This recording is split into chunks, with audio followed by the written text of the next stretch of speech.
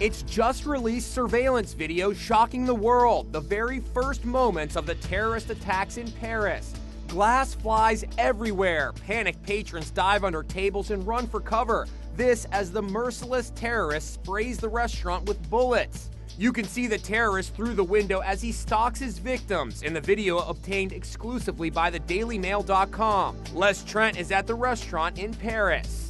One of the security cameras was pointed towards the outside, and then this haunting image. You see a gunman train his weapon on someone on the ground right here.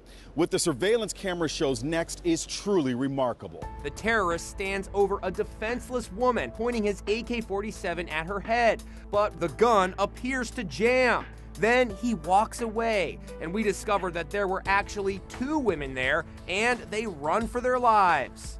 Now, watch another terrified woman who dives under the restaurant bar, where the bartender comforts her in her arms. The bartender then peers over the bar to see if it's safe to come out, and the woman runs for the basement.